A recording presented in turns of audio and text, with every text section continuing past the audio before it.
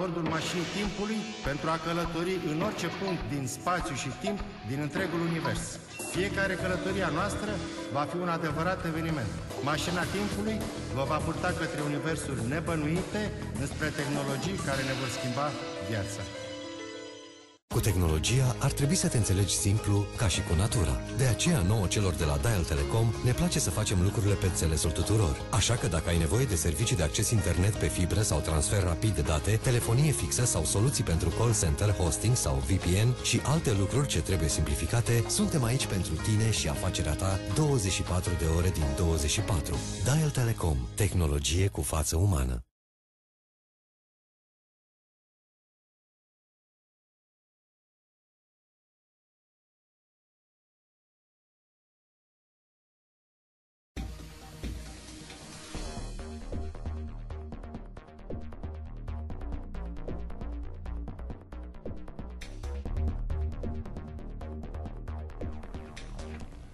Am onoarea să vă salut, dragi prieteni. Avem o ediție specială în această seară.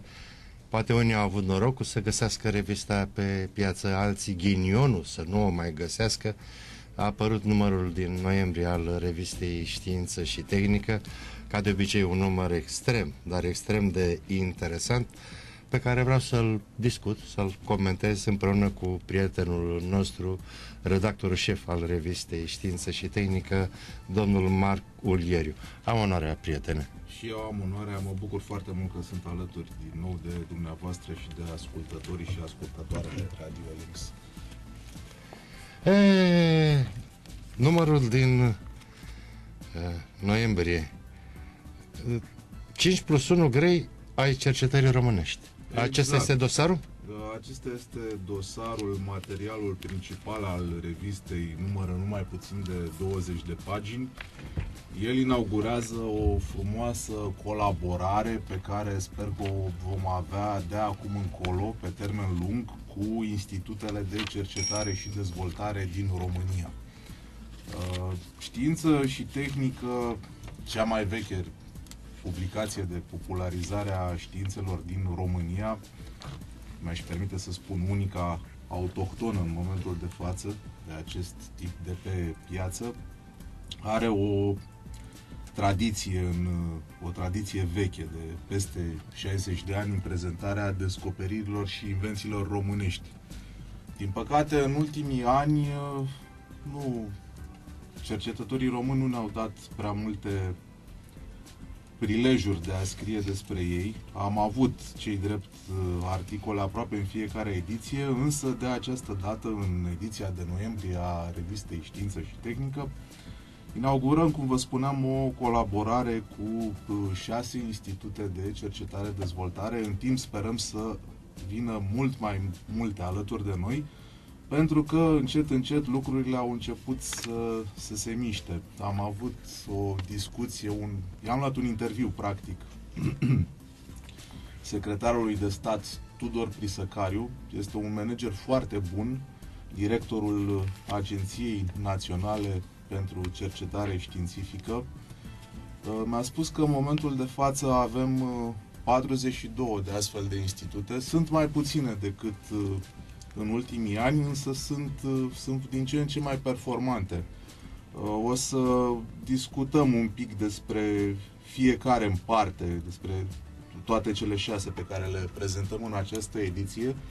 Ce am observat eu, ce m-a surprins în mod plăcut, este că cel puțin cei șase grei, cum i-am botezat noi, pe care îi avem în ediția de față a revistei, sunt niște institute foarte robuste, foarte vioaie, aș, aș spune. Au uh, cercetări frumoase, au contracte cu mari firme uh, și companii din întreaga Europa și din întreaga lume. Imaginea tânărului cercetător, imaginea cercetătorului, de fapt, s-a, s-a schimbat. Am, am întâlnit o mulțime de oameni tineri, am întâlnit uh, manageri foarte buni și uh, cercetători care fac, uh, fac știință așa cum trebuie, spun eu, și sper să avem parte de o sumedenie de surprize plăcute în viitorul apropiat, pe lângă deja celebrul laser care se construiește la Măgurele, Uh, vor mai fi o seamă de, de proiecte frumoase în, în știința românească, unele mai mari, altele mai mici, oricum lucrurile au început să, să, să, se miște. să se miște. Bine, aici trebuie să subliniem și faptul că avem avantajul de a fi membri ai Uniunii Europene. Institut, institutele noastre de cercetare, practic, participă la concertul european al cercetării. Participă, și... primesc granturi. În momentul de față uh, avem uh, 11 cercetători care au niște granduri mari de tot, o să-i prezentăm și pe ei în, în revistă, însă așa cum spuneam, cel puțin cele șase care sunt prezente în ediția de noiembrie a revistei Știință și Tehnică, chiar sunt institute serioase, le-am vizitat pe fiecare în parte și m-au, m-au surprins foarte plăcut, repet. Hai să le enunțăm. În păi, zona aerospațială în ar fi... zona aerospațială începem cu uh, INCAS-ul, uh, Institutul Național de Cercetare Aerospațială Elie Carafoli din București. Acesta uh, are o tradiție la fel ca revista noastră de peste 60 de ani. Uh, a existat sub uh, diverse nume, în momentul de față se numește INCAS, este condus de către un uh, director tânăr, ambițios, doctorul Cătălin Nae. De asemenea, uh, am văzut acolo uh, foarte mulți oameni tineri în uh, partea de proiectare, dar și în partea de cercetare. Adică, practic, în fiecare institut este o organizare asemănătoare cu cea europeană. Sunt departamente foarte specializate, sunt oameni școliți pe afară care s-au întors în România, care, mă rog, fac uh, lucrul la calculator, design, tot felul de nebunii, apoi partea de testare și, în sfârșit, uh, cei care execută efectiv uh, un prototip. În ediția de față a revistei, cea de noiembrie, Uh, prezentăm uh, cel mai uh, performant produs al Incas din acest an, se numește Atmos Lab, așa cum probabil vă sugerează și numele, este un laborator pentru cercetări aeriene. Un laborator mobil, laborator aeroportat pentru cercetări atmosferice de mediu. Asta înseamnă Atmoslab de fapt. Uh, acesta a fost uh, construit prin uh, un fond european, face parte dintr-o strategie națională de dezvoltare până prin anii, orizontul anilor 2020-2030. Laboratorul este operațional din anul 2011, însă a fost rafinat pe, pe parcurs, practic în fiecare an de când l-au inaugurat, tinerii cercetători de la INCA s-au mai adăugat componente noi și uh, vorbim practic despre o platformă de zbor uh, care e instalată pe uh, numai puțin de trei avioane. Avioanele aparțin INCAS, fac uh, cercetare și echipamente de măsurători pentru colectare de date, monitorizarea mediului. Cam acesta este pe scurt incasul. Vă invit, nu, trebuie să citească articolul, acum exact, nu putem să-l citim noi aici. Deși vă invit tare... să descoperiți întreaga poveste a Incas și mai ales a Atmos Lab în revistă.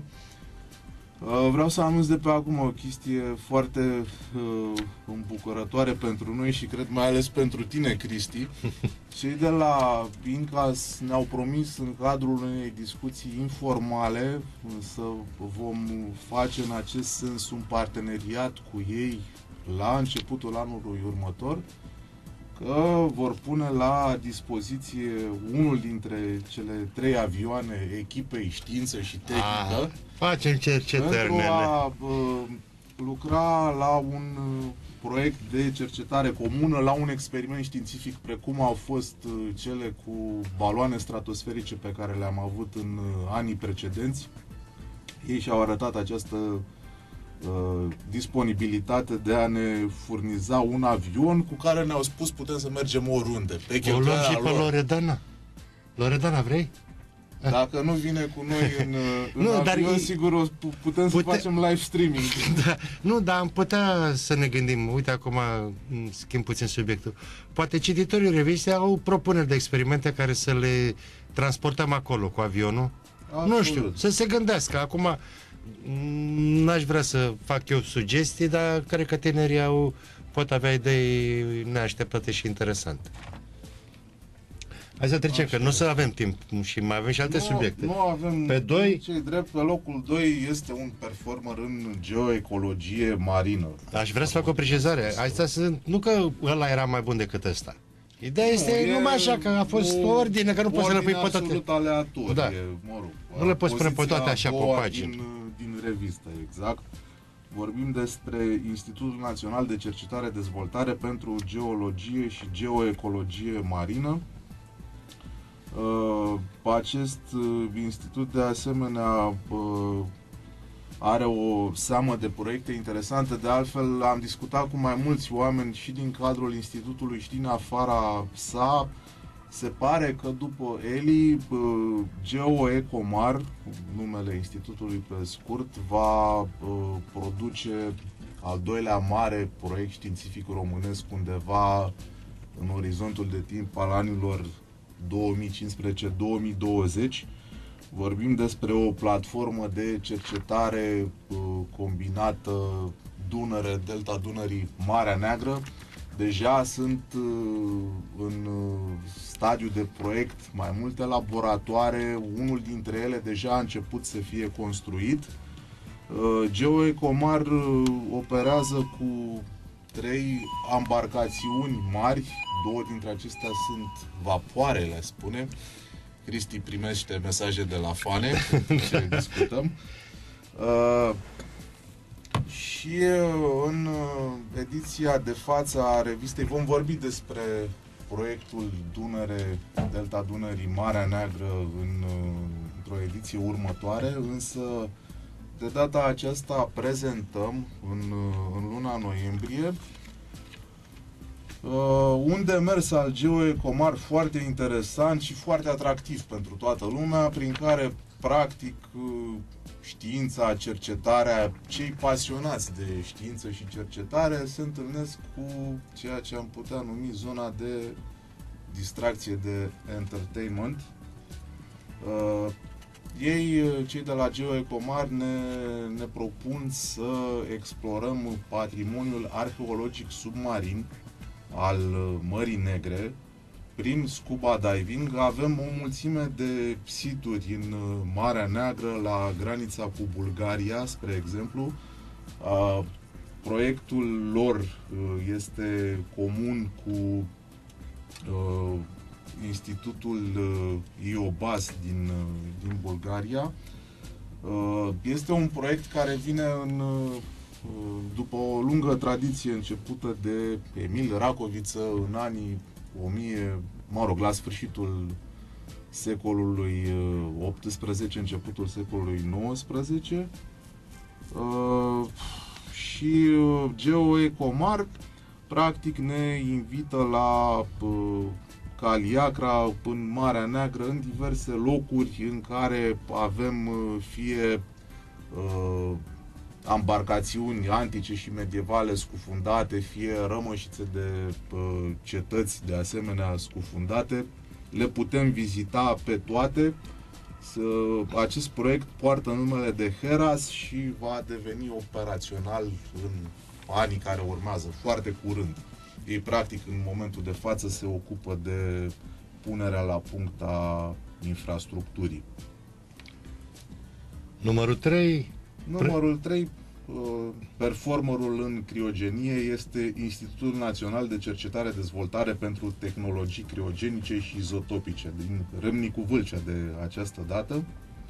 Uh, poți să te rog pe tine să îi prezinți un pic. Eu mărturisesc sincer, uh, am fost uh, până de curând paralel cu subiectul heliu lichid când mă gândesc la el îmi spune Terminator 2 și cam atât, însă uh, foarte ce am, ce am reținut din uh, ar, acest articol care e scris foarte prietenos de altfel, chiar dacă nu sunteți uh, un uh, pasionat al uh, tehnologiilor criogenice, veți înțelege tot ce scrie aici.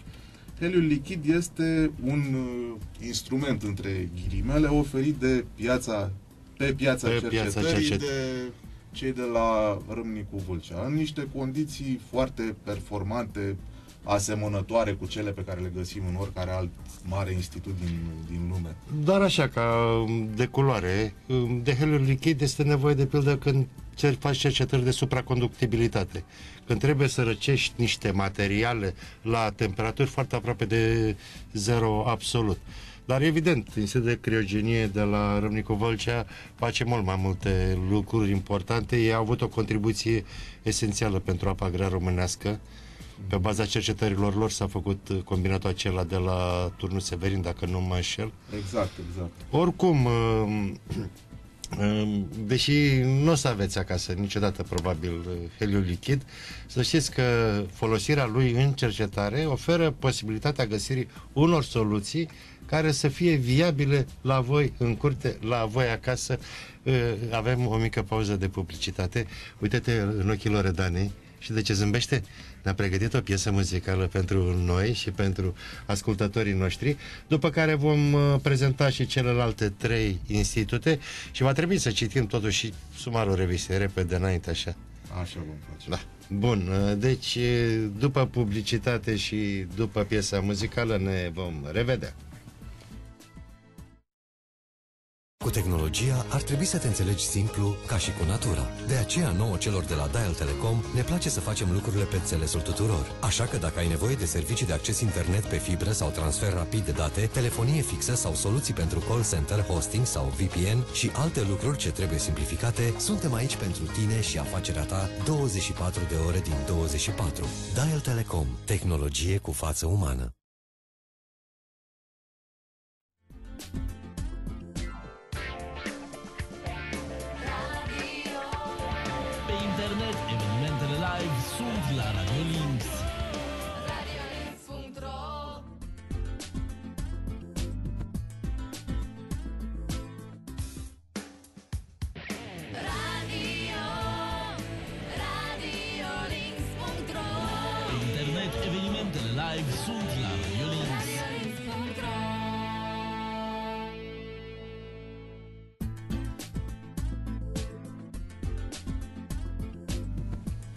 Ei, dragii mei, ne-am întins la vorbă despre viitorul revistei. O să vedeți că mm, anul viitor uh, nu, divulg, nu divulgăm nimic acum, dar uh, vor fi surprize foarte frumoase și pentru dumneavoastră și pentru noi. Uh, Al patrulea pus Acila, repet, nu e vorba de un clasament 1, 2, 3, este 4. un clasament, este o ordine absolut uh, aleatorie sau dacă vreți care uh, ține de layout-ul revistei. Vorbeam despre Institutele Naționale de Cercetare și Dezvoltare din România, uh, performerii pe care sperăm să-i strângem în jurul revistei. În ediția de noiembrie am strâns șase, am lansat o invitație oficială, sperăm că în curând vor fi cât mai mulți. Ei bine, Uh, Cel de-al patrulea institut prezentat uh, este uh, Institutul Național de Cercetare Dezvoltare Turboreactoare Comoti. Este, așa cum îi spune și numele, un uh, performer în uh, turboreacție uh, care lucrează cu uh, firme mari din uh, întreaga Europa pe uh, componente de avion, uh, Stegma, uh, Airbus, Onera, Vibratec din, uh, din Franța, uh, lucrează împreună cu institute similare din uh, America și, și Germania.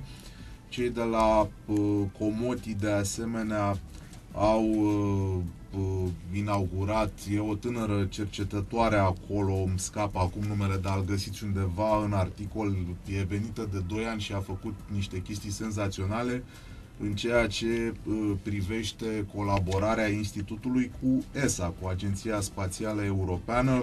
Avem uh, deja pe orbita Terei sau vom avea și vom avea în curând sateliți ESA dotați cu componente românești produse la Comoti, în București.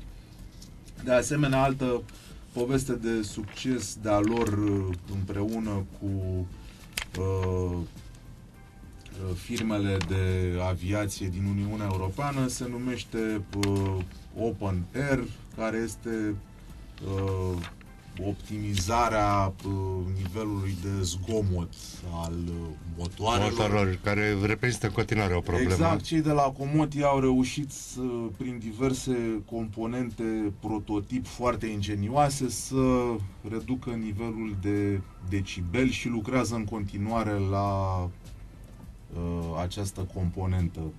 Cel de-al cincilea institut se numește Institutul Național de Cercetare Dezvoltare pentru Textile și Pielărie. Poate vă întrebați ce caută acest institut aici.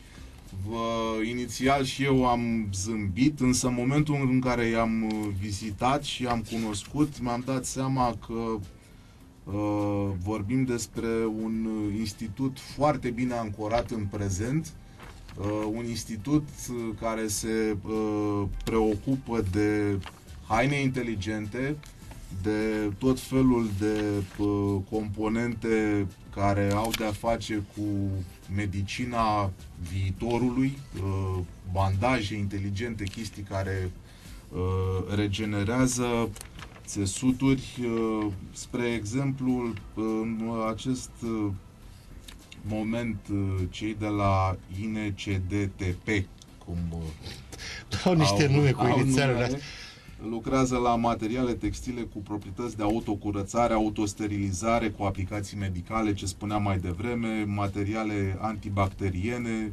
materiale tratate cu nanoparticule sau materiale cu schimbare de fază pentru reglarea temperaturii corpului.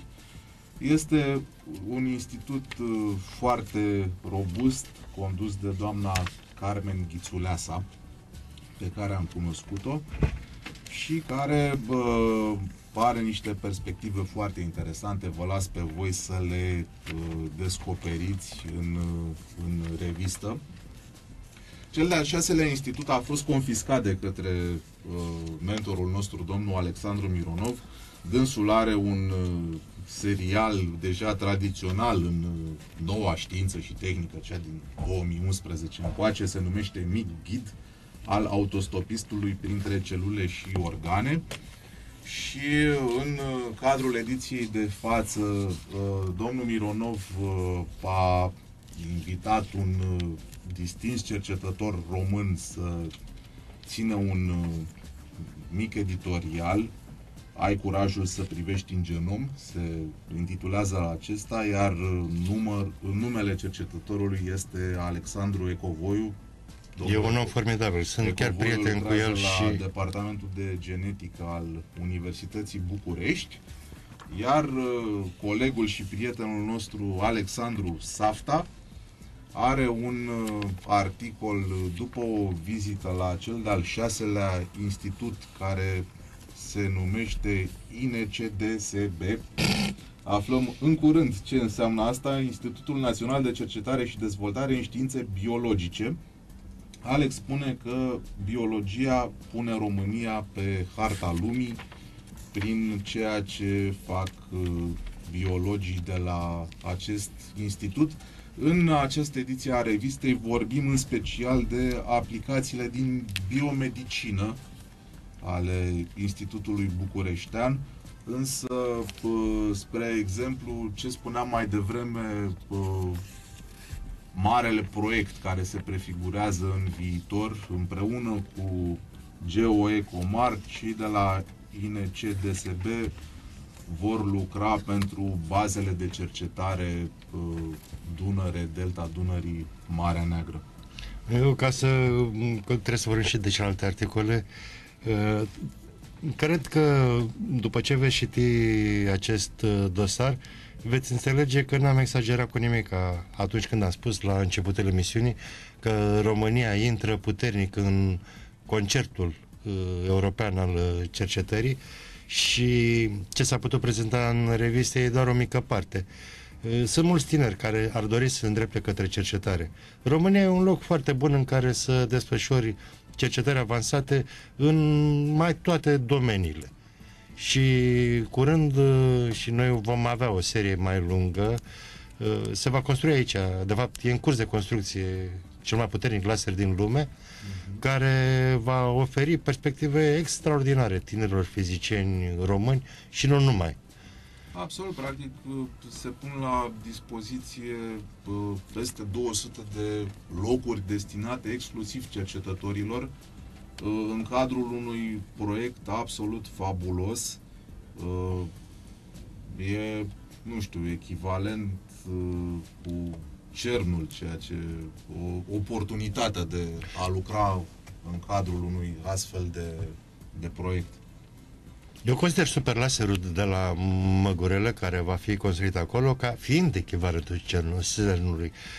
Acolo se vor putea desfășura alte categorii de experimente care nu se pot desfășura, de fapt, într-un accelerator de particule, dar de aceeași valoare. Gândiți-vă că cu ajutorul acestui laser, de exemplu, se pot materializa din vid particulele virtuale. Nu intru eu în multe detalii, dar unul dintre cerce... când am fost la Paris, era, au și ei acolo un laser de mai mică putere, obiectivul lor este să dea găuri în vid, asta spunea și mi-a sunat foarte frumos. Trecem la sumarul revistei așa repede înainte. Avem doar 8 minute la dispoziție de asta. Trecem, trecem. Deci nu, știrile le găsiți și... Ca întotdeauna în prima parte a revistei, a, imediat după știri, rubrica de uh, prototipuri ținută de Claudiu Andone, uh, în care vorbim uh, despre, în fiecare lună, despre ce e mai interesant pe Kickstarter și Indiegogo, uh, Bionic Bird, iată, este unul dintre aceste prototipuri pe care le prezintă Claudiu în noiembrie. Întotdeauna el a visat să zboare ca o pasăre. Nu, nu o să reușească să facă asta, zic eu. Da, dar este un gadget care zboară ca o pasăre. o pasăre robot. O pasăre robot controlată cu ajutorul unui smartphone Atenție, nu vorbim despre o dronă, vorbim despre un prototip care se comportă exact ca o pasăre. Sunt curios dacă și ciugulește ceva. Are numai 9 grame, citesc aici. Da. Deci e o jucărie de jucărie. O jucărie Vine care Crăciunul. Va, va costa 120 de dolari. Accesibil. Da, și uite, văd că bateriile o țin 12 minute. Eu am mai luat jucării de-astea, îmi cumpăr elicoptere în fiecare Crăciun ca să mă joc și dar mi se termină bateria după 5 minute, așteaptă jumătate de oră, 12 minute e bun. Următorul articol am onoarea să fie semnat de mine, uh, Marele salt secret, uh, e vorba despre saltul, uh, depășirea recordului lui Baumgartner de către, cum îl cheamă pe nenea asta? Eustace, Eustace, Eustace și Alan uh, Eustace, un bogătan, domnule, acum ce să mai zicem? Bogătan, bogătan de bogătan. manager Google, care da. a pregătit uh, doborârea acesta de record într-un mare secret. De altfel și ziua în care s-a produs uh, nu a făcut tam-tam mediatic. Dar nici după. Nici după, i-am căutat filmulețe, poze, nu, câteva acolo să fie și o descriere foarte pe scurt a tehnologiei folosite. Oricum, uh, e o performanță extraordinară și uh, cu siguranță, cărțile de istorie o vor consemna în continuare. Cineva mă întreba pe Facebook la ce folosește toată treaba asta. Folosește.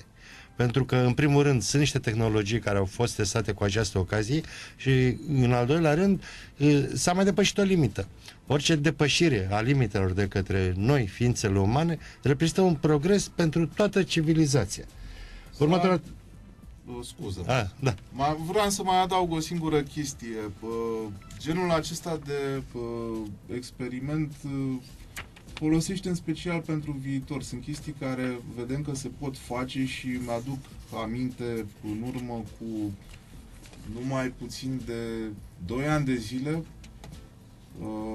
împreună cu astronomul Cătălin Beldea făceam un uh, experiment pe care l-a mai uh, reușit doar NASA. NASA a făcut tipul acesta de experiment, lansarea unui balon stratosferic în conul unei eclipse totale de soare cu un buget de câteva milioane de dolari, noi l-am făcut cu mai puțin de 10.000 de euro. și probabil așa se va ajunge, cred, în, uh, în viitor și la uh, tipul de, uh, nu știu, dacă se este zbor stratosferic cu ajutorul unui balon pe care l-a, l-a doborât uh, managerul uh, Băi, prietenul Elen, știi că l-am declarat uh, prieten, uh, face parte dintr-un program mai amplu care dorește să uh, ofere publicului larg zboruri stratosferice. Efectiv, te ridică cu o capsulă la, La- la asta o mă altitudine gândeam. foarte mare, peste 30 de kilometri. Ești aproape ca și cum mai vedea din spațiu cosmic uh, Pământul. Am văzut, din păcate, apropo de stratosferă uh, și de, uh, mă rog, pasul următor, turismul spațial, uh, Virgin a a avut un eșec, o, un accident cu Spaceship 2. Uh, am aflat între timp că în urmă peste șase luni uh, previzionează că vor uh, lansa următorul prototip. Uh, nu e Spaceship 3, e tot Spaceship 2, dar Dar e un cu, cu pic, uh, câteva cu îmbunătățiri. câteva îmbunătățiri. Uh, Oricum, uh, eu sunt un pic dezamăgit, îți mărturisesc, Ah. Cristi, în urmă cu câțiva ani, în momentul în care bă, s-au lansat cei de la Virgin, trăiam așa cu impresie emergentă că, nu știu, când voi avea 40 de ani, îmi voi permite un, uh, Da, 250.000 de zbor dolari. În, uh, în uh, proximitatea Pământului, dar uh, nu, sincer nu cred că va fi uh, posibil și accesibil uh, în următorul deceniu un astfel de zbor. Nu, va fi posibil și accesibil și există și o parte pozitivă a catastrofei, deși s-a soldat cu o victimă. Partea pozitivă este că asemenea incidente care se produc în timpul zborurilor de test fac ca zborurile următoare să fie mai sigure, mai uh, bine puse la punct. Istoria laserului, tot eu am onoarea să-l semnez. De fapt, uh, aici prefațăm, prefațăm. Vrem să prezentăm laserul de la Măgurele, ce știe și ce va putea să facă. Dar uh, Însă pentru a-l înțelege mai bine uh, este nevoie de o istorie a laserului, un mic serial pe care Cristi îl, îl găzduiește în știință și tehnică începând cu acest număr, povestea laserului din cele mai vechi timpuri până în prezent, urmată apoi de prezentarea pe larg a tuturor uh, facilităților, aplicațiilor, institutelor, nebunilor care vor fi implicate în uh, ceea ce se numește Extreme Light Infrastructure Nuclear Physics, Eliu de la Măgurele. o să aveți surprize frumoase în anii ce vin și cu siguranță, eu poate nu apuc, dar uh, Loredana și Marco o să prindă un premiu Nobel care va fi oferit în urma unei cercetări efectuate aici la Măgurele. O aruncătură de băț. Urmează apoi uh, dosarul despre care am vorbit cu cercetarea românească și rubrica lui C- Cătălin Beldea de astronomie. Cătălin este un uh, personaj uh, constant al acestei emisiuni, a fost și invitat aici. De data aceasta uh, tânărul astronom amator cu performanțe mondiale și uh, un Publicat la NASA. astrofotograf, uh, da, publicat la NASA, a publicat și în catalogul uh, Greenwich uh, al uh, Societății Regale de Astronomie din Marea Britanie, care a strâns anul acesta cele mai frumoase astrofotografii. Ei bine, l-a publicat și pe Cătălin într-un catalog uh, foarte frumos. Și n- dacă nu mă înșel Sky în telescop și National Sky Geographic. Telescope, National Geographic. Cătălin este un uh, astronom cu o vizibilitate din ce în ce mai mare, nu aș spune chiar de talie mondială, dar uh, acolo... Cunoscut în toată lumea. cunoscut în toată lumea și pe care știință și tehnică îl găzduiește lună de lună cu rubrica de astronomie. De data aceasta Cătălin a fost la o vânătoare de comete împreună cu prietenul lui Maximilian Teodorescu, care este specializat pe fotografia de comete. Aveți în revistă câteva fotografii realizate de echipa Maximilian Cătălin.